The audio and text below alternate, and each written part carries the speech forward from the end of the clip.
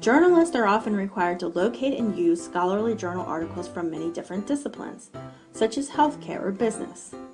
This can be challenging. Scholarly articles are written by experts and are intended to be read by other experts. This means that they can often be difficult to read. They may contain a lot of jargon or technical language, and they may assume the reader already has a significant amount of background knowledge related to the topic. This tutorial will review a few tips for effectively reading and using scholarly articles in your research as a journalist. It's important to recognize that scholarly journals tend to be focused on specific academic topics, such as the American Journal of Nursing or the Journal of Communications Research. As a result, articles in these journals are often focused fairly narrowly. If you need a source that provides a broad overview of a topic, scholarly journal articles may not be appropriate. It is also helpful to understand that scholarly articles often have a similar format. Understanding the purpose of each section of the article can help you to identify the parts that are most relevant to you as a journalist. Most scholarly articles begin with an abstract. This is a short paragraph in which the author briefly explains what the article is about and describes any significant findings. While the abstract of the article can be valuable for identifying articles that are relevant to you, it's very important that you do not rely only on the abstract for your understanding of the article. You need to find and review the entire article. As an NKU student, you can use Steely Library Source Finder service to request the full text of any article for free. The first page will also usually contain information about the author, such as the university where they work. In some cases, it will give more detailed information, which can be very helpful for journalists. Not only does it establish the credibility of the author, it also gives a way for a journalist to contact the author for more information about the study. In the introduction to the article, the author will usually describe the purpose of the research and explain how the current research relates to previous studies on the topic. In the methods section, the author will usually describe exactly how the study was conducted.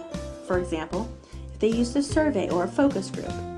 They will also describe the study's participants. In the results section, the author will describe the data that they collected as part of their study. They will usually explain the various types of statistical analysis that they performed and provide charts or graphs to display the data. This is usually the most difficult section of the article to read. It is in the discussion section that the authors will most clearly explain what they found and why their findings are significant. As a result, this section will often be the most important for a journalist. In some cases, the author may also describe the limitations of their current research. For example, if the study was conducted on only a small number of people. It's important for journalists to pay attention to these limitations to ensure that they don't over-exaggerate the significance of the study.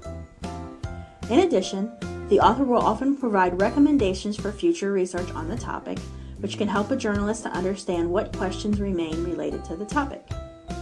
Finally, the author will usually include a conclusion that summarizes the main purpose of the research and the relevant findings. The final part of the article is usually the references. Looking at the references can be very valuable for a journalist because they can use these sources to learn more about the topic. When you approach a scholarly article, keep in mind that you do not usually want to read the article the same way you would a newspaper or magazine article, straight through from beginning to end. Instead, you may want to review a scholarly article in sections, out of order. First, read the abstract. Then you may want to skip ahead to the discussion section, skim through the limitations, and look at the conclusion section. Then, if you still think the article is relevant, you can go back and read the introduction, the methods, and the results section.